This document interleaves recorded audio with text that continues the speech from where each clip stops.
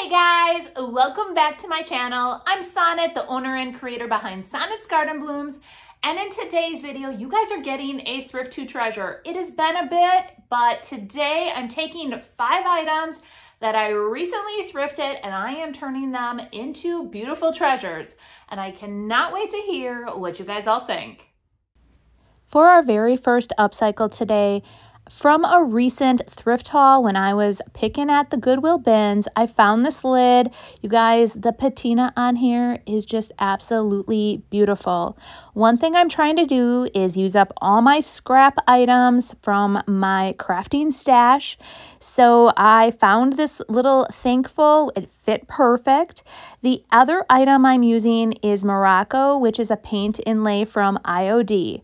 There's two ways to use a paint inlay. You can either use it in a top coat or in paint.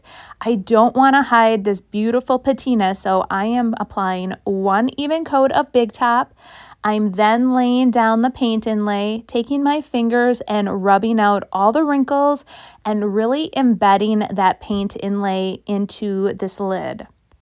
From here, what I'm doing is taking my misting bottle and I am misting the entire piece. Again, taking my finger and rubbing it very thoroughly to embed that paint in that top coat.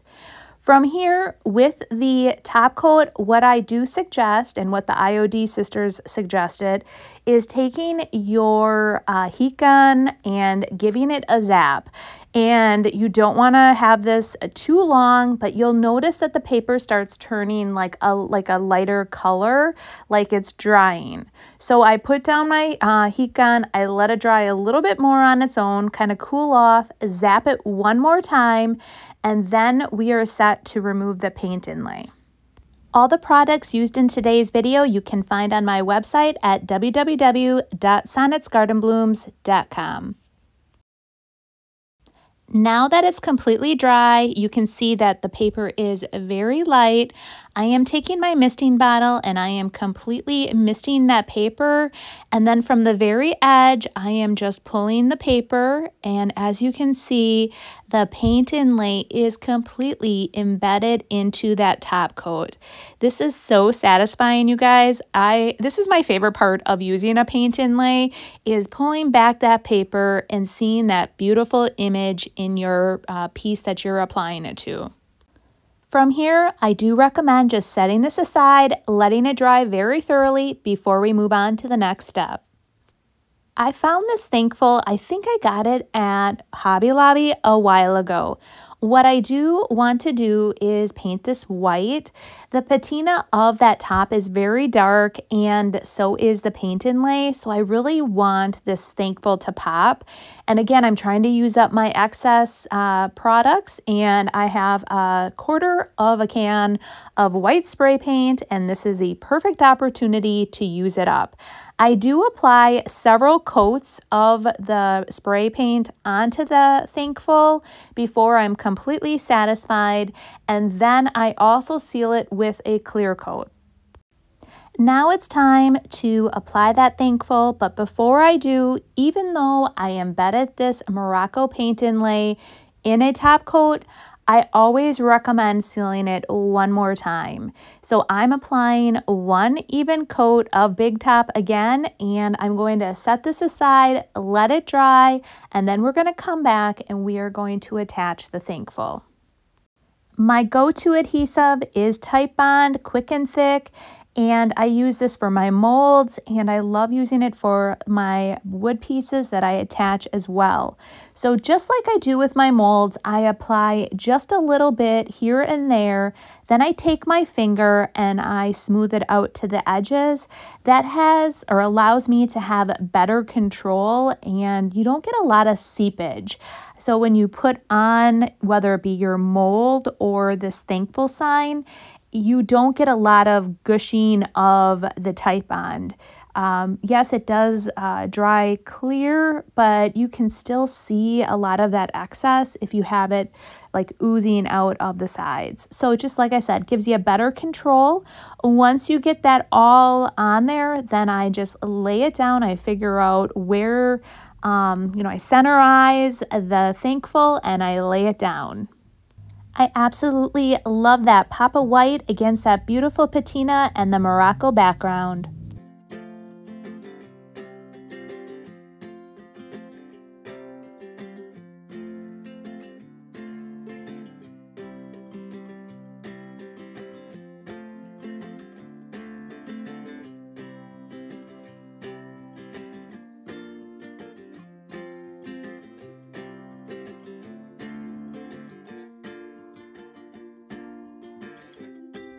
For Upcycle 2, I recently thrifted these two little drawers. They definitely caught my eye right away. Anytime I can find little containers like this that I can stack on top of each other, I'm grabbing them. For today's upcycle, I decided to add a pop of color. And from what everything I'm reading, blues are definitely making a comeback. And I love Bohemian Blue, and I think it is absolutely gorgeous for the holidays. So I can use it in my holiday decor in my booth. I can also then slide it right into spring as well. So if they don't sell in, you know, through the holidays, they can definitely go into my spring decor.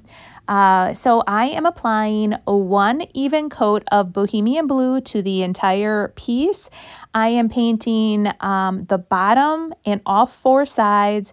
I want it to leave the inside the neutral or natural wood. I like that contrast and I think it's going to look just perfect.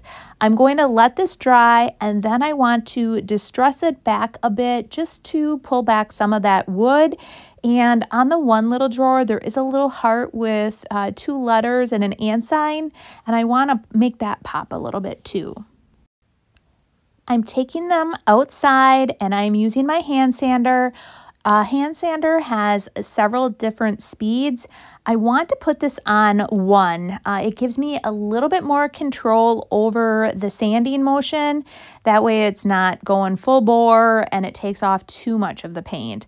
I just want to sand here and there and here is what the final outcome looks like.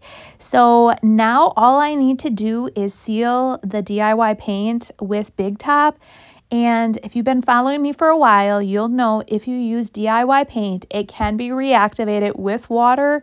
So you always want to seal it with some type of top coat or uh, wax. And today I am using Big Top. This was such a simple and easy flip by adding a bit of color. And again, it just will be a perfect pop of color in my booth.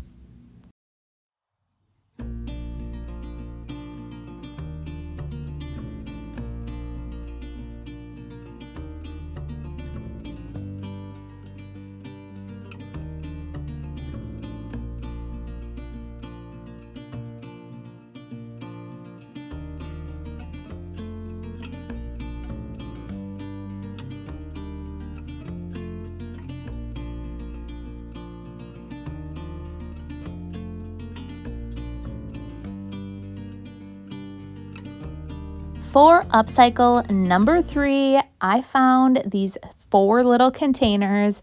And again, they were from my last thrifting adventure.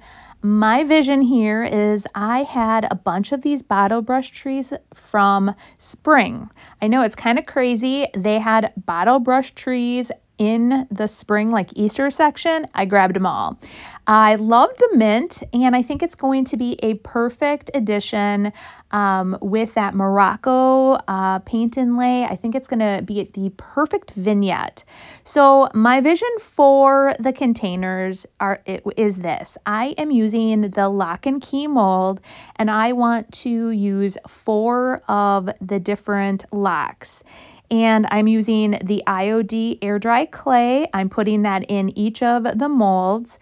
I'm going to attach those molds to these containers and then paint them white. And I think it will be super cute um, by putting the trees inside those containers. Now, if you haven't used the air dry clay before, it's super easy. I always recommend keeping any of your excess air dry clay in a plastic bag, like a Ziploc.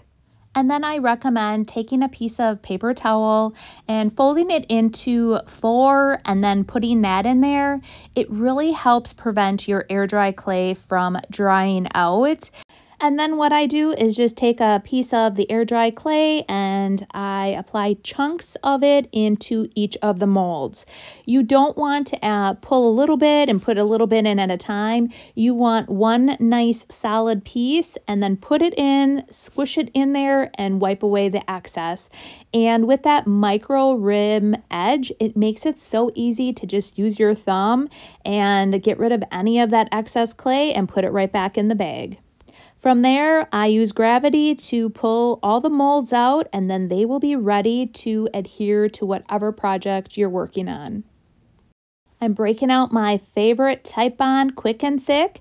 And again, just like I did with the thankful uh, little sign, I am applying just a little bit of the Titebond taking my finger, rubbing it to the edges. Again, you don't want it um, to be overflowing. You just want enough on there. And it really helps control it if you use your finger to wipe it right to the edges. And then from there, I just apply it to each of my projects. And the key to applying it is just put it down and then I recommend, um, because there is so much beautiful detail in these molds, you don't want to put a lot of pressure on these, but you when you lay them down, I just make sure that I get a good adhesion and then I go around the entire edge or perimeter of the mold and then I tap just to make sure it's all on there securely. I do leave it laying flat to dry and then after a little bit, I double check it. So I go back to my mold, make sure it's still all completely down around the edges. If not, I just lightly tap it and then make sure it goes back down. And I do that to all of them and leave them dry overnight. Now that they've dried overnight, I am using vintage linen from DIY Paint. And the DIY paint is a clay-based paint which can uh, be applied to virtually any surface. What I did notice about this is that it did it looked like it got a little streaky, like the um, application was not perfect. Um, typically, I use like galvanized. This is like more of like a tin.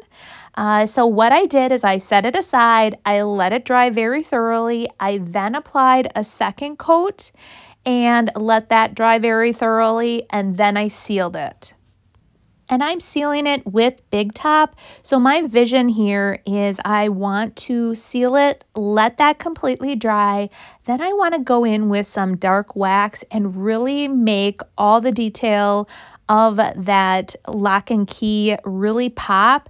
And then the actual little containers have some grooves as well. So I want to get that dark wax in all of that detail.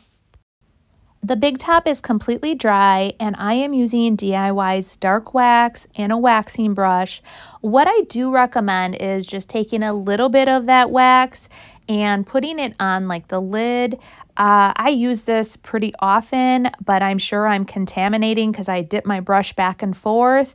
Because DIY products are all natural and only limited ingredients, you definitely don't want to contaminate your containers. Um, like with the paint, it can start smelling foul. It's still totally okay to use, it just has a funky smell. And same with the wax. So I always just recommend scooping a little bit, putting it on the lid or in another container, and then applying the wax. But I'm using my waxing brush and I'm just really getting into all those details, taking a piece of paper towel and wiping away the excess. And then what I do recommend when you use the wax is let it cure for 30 days uh, and then it will be rock solid. I decided to try to use Great Stuff, which is an expanding foam, to hold the trees in these containers. Initially, I squirted some in, I plopped the tree in, and I'm going to show you in a minute that did not work. What I'm doing here, and this did work, is I'm squirting a little in, and then from here, it will expand. I will chop off the top, and then we'll add the trees. Here is what it looks like after I cut away some of that expanded foam and I am squirting in some Titebond. I am also applying a bit of Titebond to the very bottom of the tree. Then I'm taking the tree itself and I am going to squish it right into that great stuff foam kind of push it down a bit to get it in there and it it definitely worked. Um, what I'm going to do from here is I'm just going to add just a little bit of filler around the edges to make it look all pretty.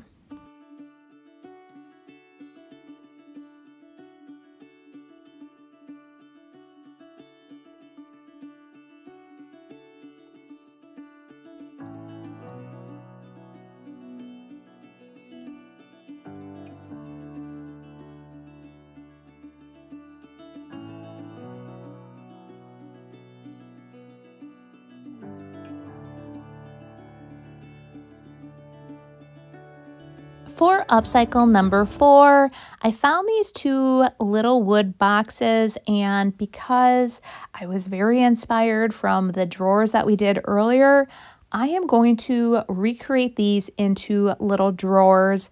I also was going to leave them all chippy white just the way they were, but as I was removing all this stuff that they had glued on, Oh my gosh, they used so much hot glue, you guys. I did use my heat gun and heated it up to try to loosen it, to try to get it off. It just left, oh gosh, it was like, it did not look good. So I had to paint them in the end, even though I really liked how chippy and pretty they looked at this point. Now I'm painting them vintage linen. I want this all to go in the same vignette. So anytime I'm doing these thrift to treasure videos, my ultimate goal is to take all of the items that I'm flipping and try to put them in the same little vignette area so that it's very easy for me to just slide them into my booth.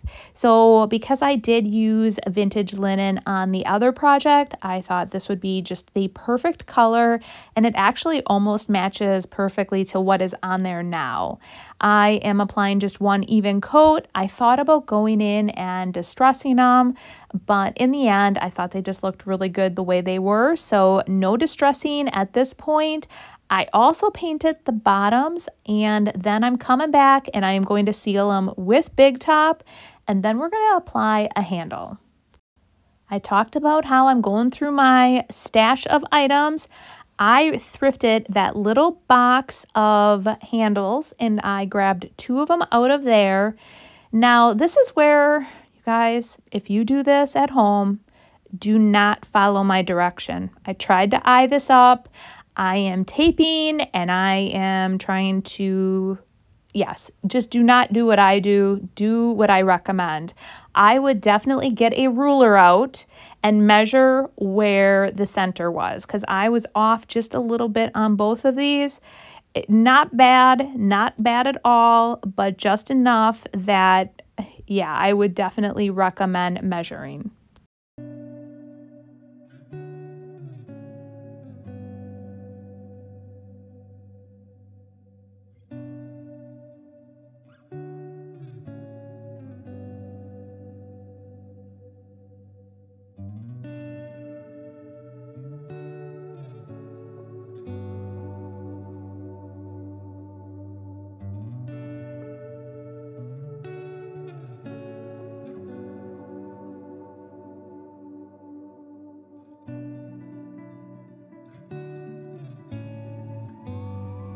For my fifth and final upcycle, I recently thrifted this little silver teapot. Super cute, but it was missing the top. I'm using the lock and key mold and I am creating a little top for it.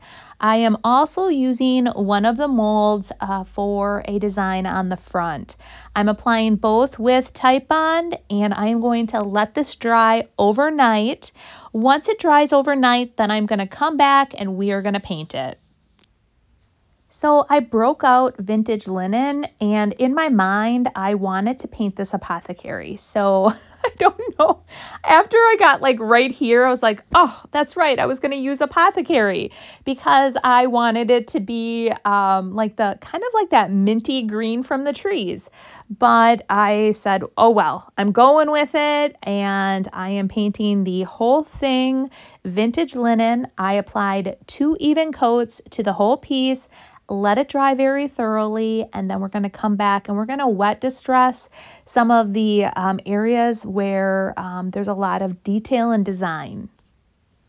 If you haven't wet distressed before, just go and grab a damp rag and any of the areas where there is a raised surface, I just take it and I rub over that raised surface. And until it, enough of it shows that um, it, you can see like some of that silver and that tarnish come through.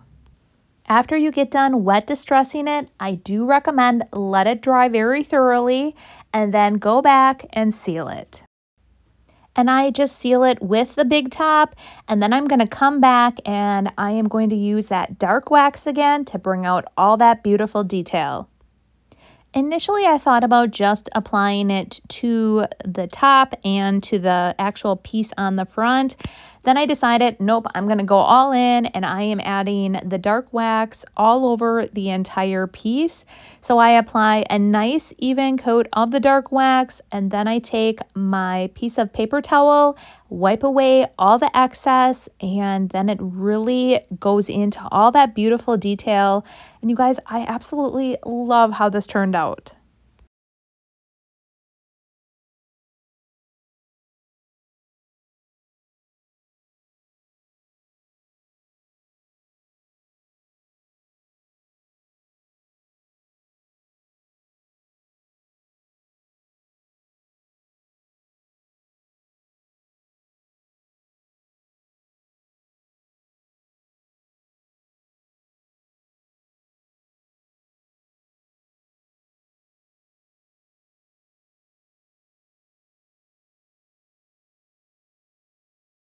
It's been a bit, you guys, since I did a thrift to treasure. I hope you enjoyed it today and were inspired by one of the projects. My ultimate goal today was just to pull five items out of my stash and then really dive into my crafting stash and use up some of the items that I have that have been sitting around for a bit. So I had a lot of fun doing that and I hope you guys enjoyed. Uh, again, with all my vignettes, I really try to make them all go together. Like all five flips, I want them to go into a vignette together. So I always am thinking about that when I'm picking colors or what items that I'm using. And definitely one of the items inspires the entire vignette. So the little sign really drove what colors I chose for the rest of the items. Well, I hope you enjoyed it and I can't wait to hear what you guys think about uh, today's thrift flips. But I want to mention that my Creative Network membership group will be closing on October 31st. So you guys still have time to get into that. And then Friday's video, I have another five items ready to go.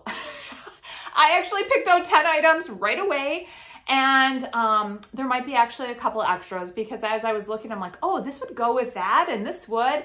So Friday's video, I think it's going to be just another thrift to treasure. Um, so I'm very excited to show you what I have in store for you. I definitely am going to start leaning more towards the holidays because that's where my booth is going.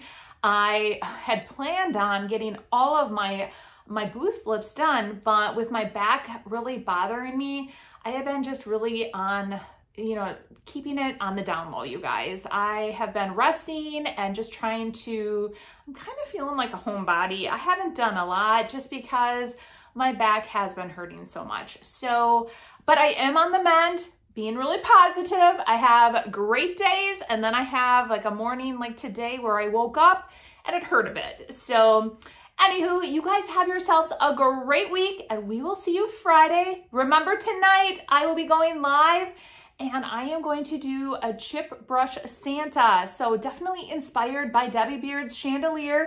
I hope to see you guys joining me this evening. All right, well, you take care and we'll see you Friday. Bye.